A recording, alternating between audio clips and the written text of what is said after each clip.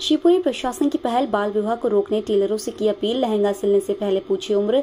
पिछले तीन साल में 206 नाबालिग को विवाह बंधन में बांधने से तब रोका जा सका, जब टीम ने गुप्त सूचना पर औचिक छापामार कार्रवाई की। तीन मामले में ऐसे भी रहे हैं, जिनमें नाबालिगों की शादी होने पर उन पर एफआईआर भी दर्ज की गई। ऐसे में जिला प्रशासन द्वारा अब नाबालिगों की विवाह रोकने नई पहल की है, जिसके तहत शहर भर के कपड़े सिलने वाले दर्जियों तक संदेश दिया गया है कि वह नाबालिग लाड़ों के लहंगे सिलकर न दे यदि टेलर का इतना सहयोग मिल गया तो निश्चित रूप से नाबालिग जोड़ों के विवाह रुकने में वह भी अपनी भूमिका अदा कर सकेंगे।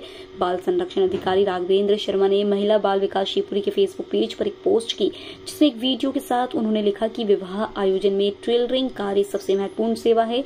विवाह आयोजन, टेंट, लाइट, हलवाई केटरस एवं विवाह पत्रिका के बगैर तो हो सकता है।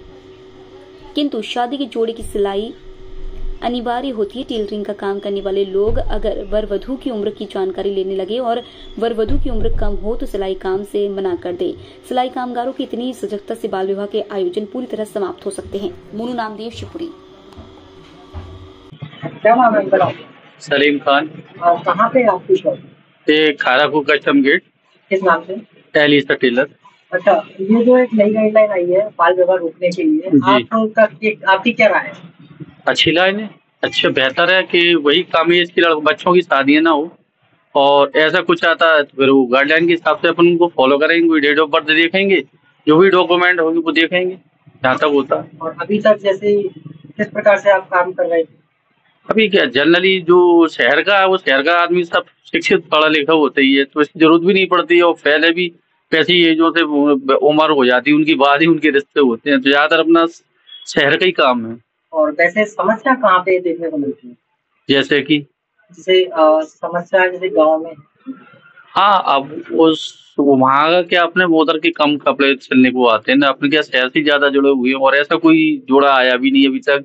अपनी लाइफ में ऐसे बच्चों की देखा भी नहीं है कि भाई बच्चों की तो अब कोई क्या कहते हैं त्योहार वगैरह होते तो उस समय के होते हैं तो कोई दिक्कत ही नहीं। है आप तो अपनी तरफ़ से हाँ हम अपनी पूरी कोशिश करेंगे ऐसा होगा तो भाई जो भी कार्रवाई हुई अपन जो भी कंप्लीट करना करेंगे भाई प्रशासन मुझे ऐसा भी होगा। क्या नाम है मैम आपका?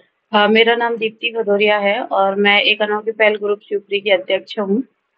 मैम एक ये नई पहल जारी की गई है बाल विवाह रोकने के लिए। आपकी क्या राय उसमें मेरी यही राय है कि जैसे कि हम देख रहे हैं शादियाँ वगैरह चालू हो गई हैं और अब बाल विवाह भी बहुत होंगे अ, जिसकी जानकारी हमें नहीं मिल पाती है शादियाँ जो बाल विवाह होते हैं वो चोरी छुपे होते हैं। इसको रोकने के लिए अभी हम लोग ये प्रयास कर रहे हैं, ये पहल कर रहे हैं कि जितने भी टेलर्स वगैरह हैं जो शादी के जोड़े सिलते हैं, उनसे हम ये अपील करना चाहते हैं कि वह लोग जिस जिसकी भी शादी का जोड़ा सिल रहे हैं, एक बार वर और वधु दोनों की उम्र को पता करें और उसके बाद उसको सिलें।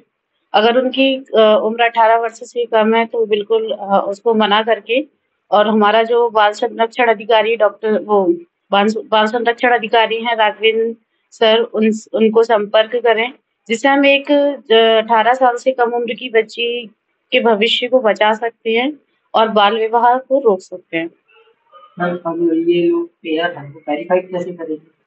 वेरीफाइड ऐसे कर सकते हैं जैसे कि कोई आया उनके पास शादी का जोड़ा सिलवाने के लिए तो वो उसकी मार्कशीट ले सकते हैं आधार कार्ड से वो पता कर सकते हैं।